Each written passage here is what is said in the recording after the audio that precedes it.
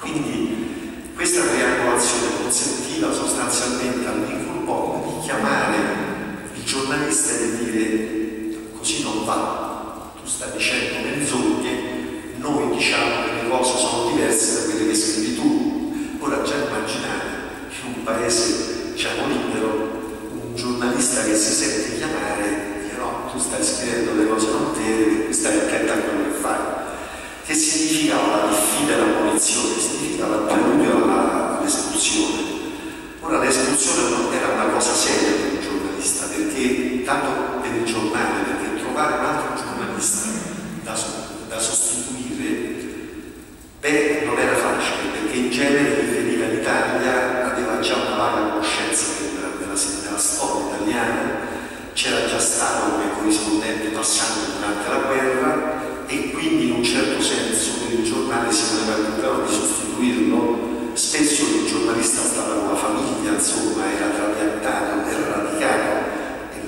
paese che lo ospitava, di andare via, non era cosa da poco, di poco conto.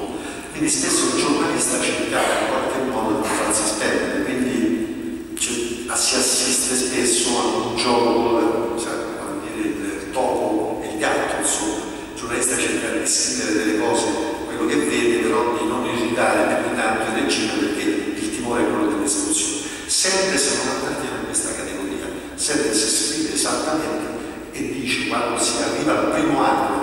primo anniversario della morte di Matteotti dice esplicitamente Mussolini ancora gli abiti macchiati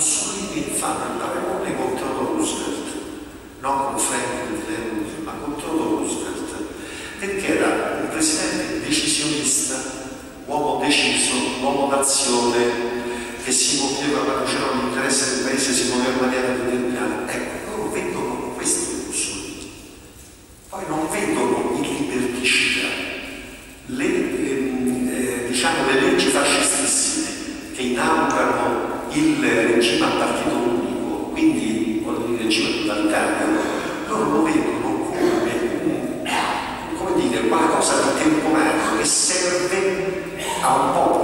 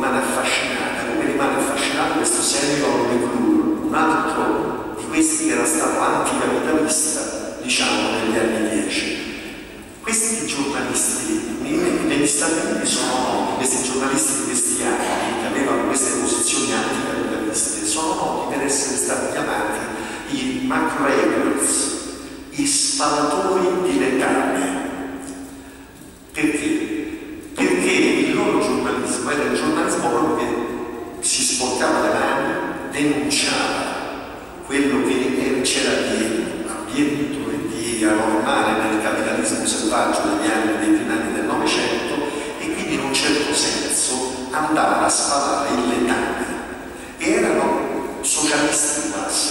A questa categoria appartengono anche altri grandi scrittori, un Apto Sinclair, Apto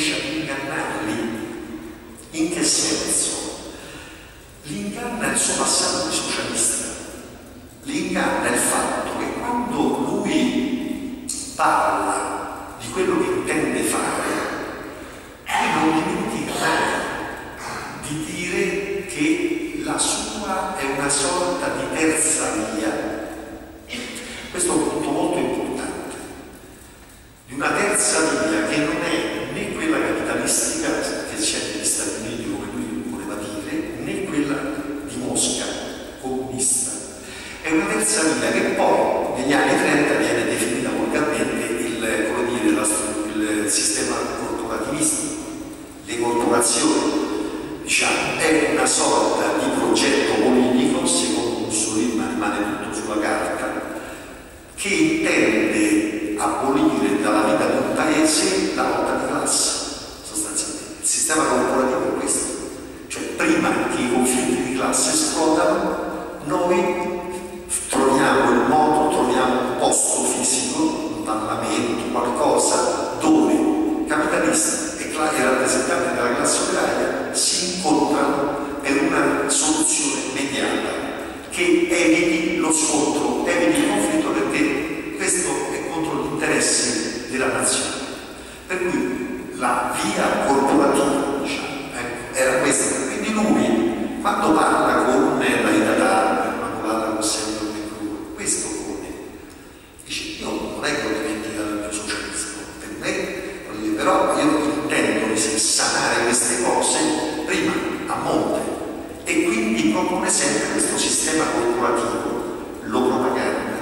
it's in the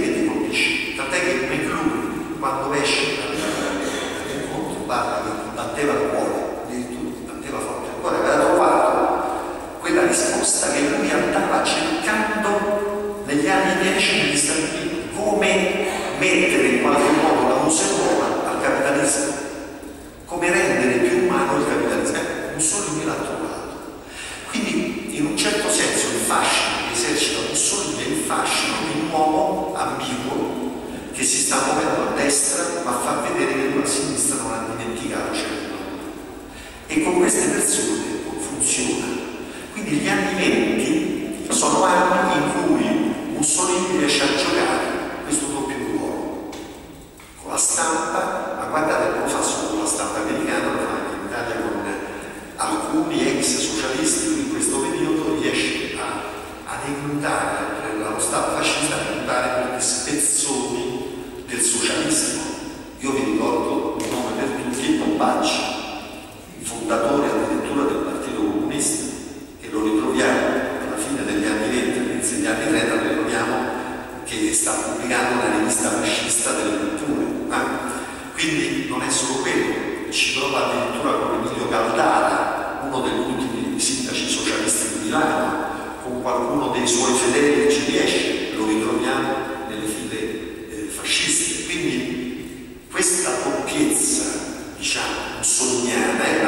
consapevolezza che funziona all'interno ma funziona anche verso una serie di giornalisti americani, i quali vengono addirittura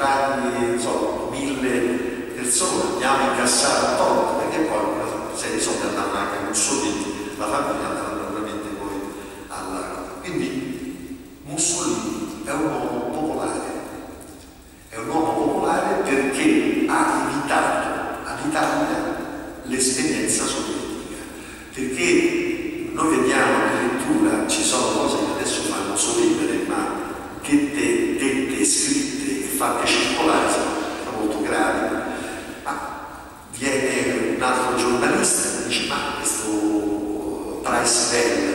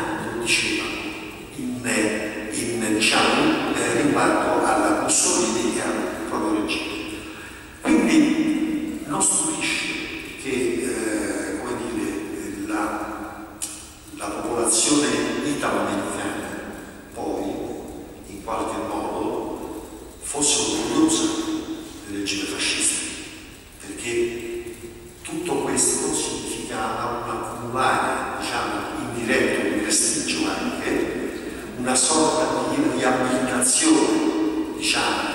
a, a questo tanto vituperato popolo italiano, ecco, adesso arriviamo, arrivano dall'Italia segnali che questi americani cominciano a capire che invece siamo un popolo serio,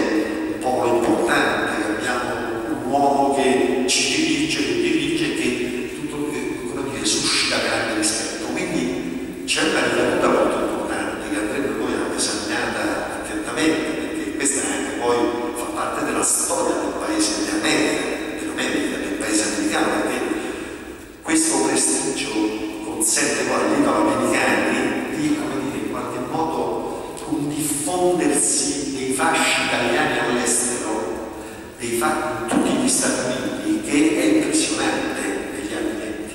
tra la metà degli anni 20 e la fine degli anni 20 c'è addirittura una lega fascista d'America molto attiva. E qui voglio aprire una piccola parentesi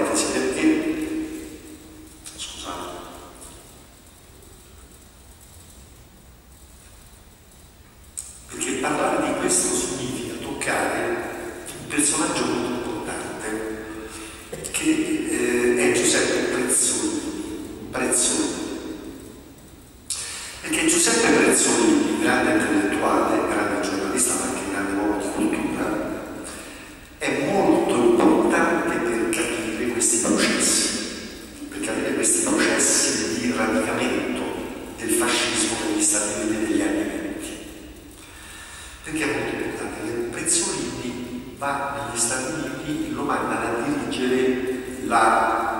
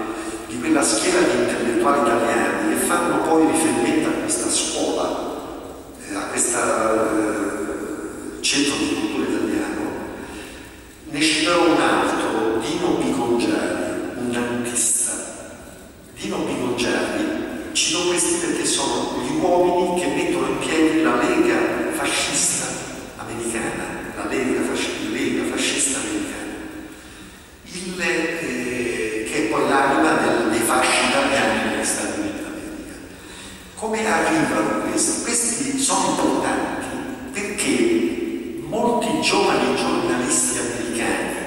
che vengono in Italia sono passati a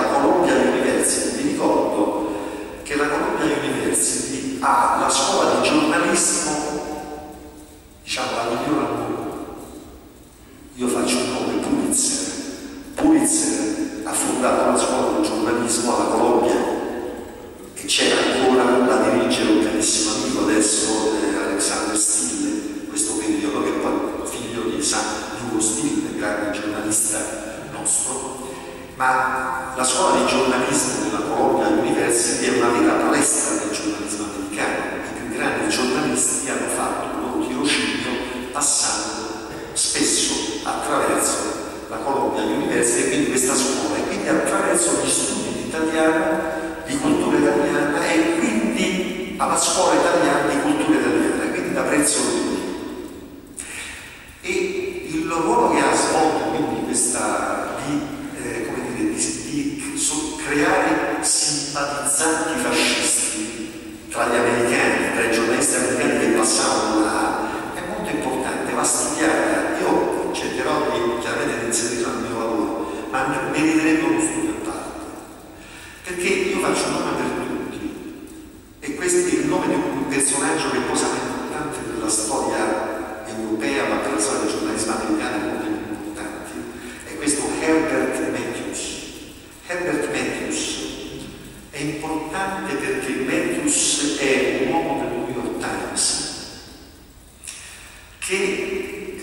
fino agli anni 60